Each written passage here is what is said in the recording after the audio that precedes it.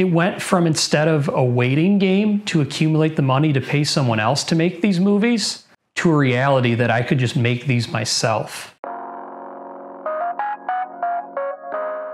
Hi, I'm Benjamin Vomastic, the writer and director of Rosetta Stone and the upcoming coming of age raunchy teen comedy Hometown Summer. Today I'm going to talk about why I made Rosetta Stone and why I'm going to be making Hometown Summer. It started around COVID. I really started to fall in love with comedy. I watched a comedy about every single day from the beginning of when lockdown started towards the end of lockdown. And it was a genre that I really meshed with. I've probably watched virtually every single comedy produced between the years of 1994 and present day.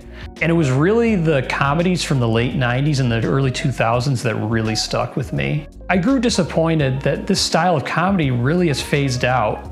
That's not to say that there haven't been great comedies made in recent years. I mean, Blockers and Good Boys are two outstanding comedies, but aside from those, there aren't a ton that really stand out, and they're really made a lot less often. Because of my longing for these movies to return, I always had this plan to accumulate money to be able to pay someone that had experience in film that could produce the kinds of comedies that I was hoping to see. But then in the summer of 2022, I realized that I have the money and resources available to make my own micro budget films. And from there, it went from instead of a waiting game to accumulate the money to pay someone else to make these movies to a reality that I could just make these myself. From there, I consulted several other filmmakers and other film students on how to make Rosetta Stone a reality.